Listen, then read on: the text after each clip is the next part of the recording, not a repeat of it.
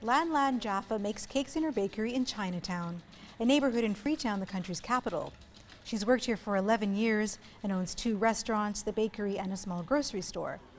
Business was good, and then Ebola hit. I have uh, two Chinese staffs gone because Ebola. The staff that have stayed are instructed to take precautions, such as wearing face masks and gloves. Jaffa says many Chinese people have left Sierra Leone. She's worried she won't be able to sell some of her Chinese products, adding that business in general is suffering. As for the turnover, it's been now the this month's special. Actually, it's a drop drop down is about 70 percent. Her restaurants have less customers, and her guest house, which holds 17 rooms, only has two rooms occupied at the moment. And while Jaffa's businesses have managed to stay open, others like this one have had to close due to Ebola. Not just businesses in Chinatown are affected. Big hotel chains like the Radisson are feeling the pinch. It opened last April and is the first international hotel brand in Freetown. Many foreigners who it caters to have left because of Ebola says General Manager Nuno Neves. I think at the moment we are running at a 10 50% occupancy when we should run already under 50 60%.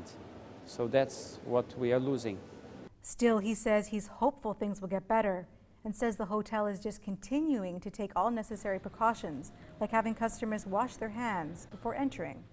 Some local Sierra Leoneans aren't so hopeful. Commercial bike drivers, known as Okadas, say they are not getting as many customers because of Ebola. 23-year-old Ibrahim Kamara says right now he makes just over $10 a day.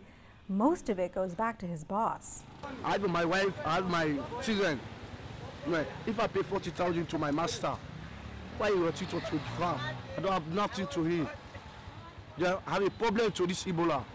Back in Chinatown, Jaffa continues to go about her day. Despite the slowing down of business and the Ebola hype, she says she's not going anywhere. Actually, for me, I'm here as 20 years. I got experience here, so of course I, I worry, but no, it's like that stage for for for for scare and go home. And no, I, I for my own thinking is no reach that stage and she hopes the economy will pick up again soon.